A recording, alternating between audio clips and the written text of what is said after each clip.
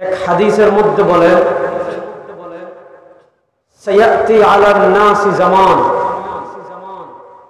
আমি পৃথিবী থেকে যাওয়ার পর, এমন একটা সময় আসবে, এমন একটা যুগ আসবে, এমন একটা কাল আসবে।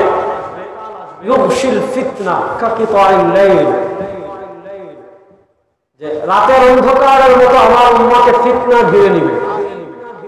যেমন পাহাড়, রাত আসলে অন্ধকার হয়। নদী, রাত আসলে অন্ধকার হয়। সাগরের চর, রাত আসলে অন্ধকার হয়। একদম ঠিক সাগরের মধ্যখানে পৃথিবীর কেউ যে জায়গায় যায়নি, রাত আসলে সেই জায়গাও কি হয়? বাজারের অন্ধকার হয়তো হয় না? অন্ধকার যেমন পুরো পৃথিবীকে ঘিরে নেয়। রাসুল্লাহাম বলেন, এমন সময় আসবে, আমার উম্মাকে রাতের অন্ধকারের মতো ফিতনা ঘিরে নিবে। যখন উম্মাকে রাতের অন্ধকারের মতো ফিতনা ঘিরে নিবে, তখন আমার উম্মার অবস্থা কেমন হবে? আল্লাহ নবী কাফিরা। ভয়ঙ্কর হাদিস। রাতের অন্ধকারের মতো উম্মতকে যখন ফিতনা ঘিরে নিবে মুসলমান, সাধারণ ইমানদার যারা থাকবে, তাদের অবস্থা কেমন হবে? আল্লাহ নবী বলে ইউসবিহু রাজুলু এক মানুষ সকালে মুসলমান থাকবে, ওয়ুমসি কাফেরা।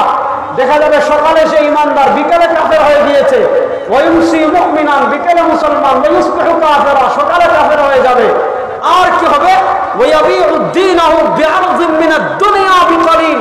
আমার উম্মার কাছে পৃথিবীর সবচেয়ে সস্তা জিনিস হলো ঈমান দুনিয়ার সামান্য স্বার্থের কারণে, দুনিয়ার সামান্য টাকার কারণে, দুনিয়ার সামান্য ইজ্জতের কারণে, দুনিয়ার সামান্য মালের জন্য, দুনিয়ার সামান্য পয়সার জন্য, দুনিয়ার সামান্য টাকার জন্য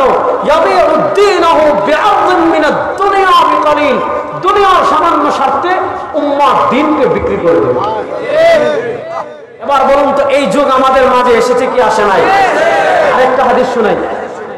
আরেকটা হাদিস শুনেন আল্লাহ নবী সাল্লাল্লাহু আলাইহি ওয়াসাল্লাম বলেন সায়াতি আলান নাসি জামান আমার উম্মার ভেতর এমন এক যুগ আসবে ইউসাদ্দাউ ফিহাল কাযিব ওয়া ইউকাযযাবু ফিহা সাদিক ওয়া ইউআম্মানু ফিহাল খাইন ওয়া ইউখাইয়িরু ফিহাল আমিন মনোযোগ দিয়ে হাদিসটা বুঝেন এমন এক যুগ আসবে অবস্থা হবে ইউসাদ্দিকু ইউসাদ্দাকু ফিহাল কাযিব সবচেয়ে বড় মিথ্যুক যে ব্যক্তি, মানুষ তাকে সবচেয়ে বড় সত্যবাদী মনে করে।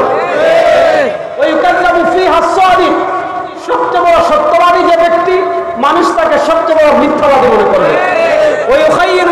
আমিন, সবচেয়ে যে ব্যক্তি, মানুষ তাকে সবচেয়ে বড় খেয়ানতকারী মনে করবে।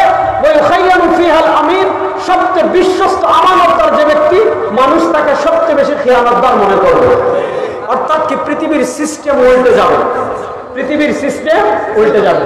এজন্য জিবরিল আমিন আলাইহিস সালাম যখন আল্লাহ নবী সাল্লাল্লাহু জিজ্ঞাসা করলেন, কি জিজ্ঞাসা করলেন? ইয়া রাসূলুল্লাহ, আখবিরনি আন আমারাতিহা। জিবরিল আমিন প্রথম আল্লাহ নবীকে জিজ্ঞেস করেছেন, আখবিরনি আনিস সাআ আমাকে আপনি কিয়ামত সম্পর্কে বলেন।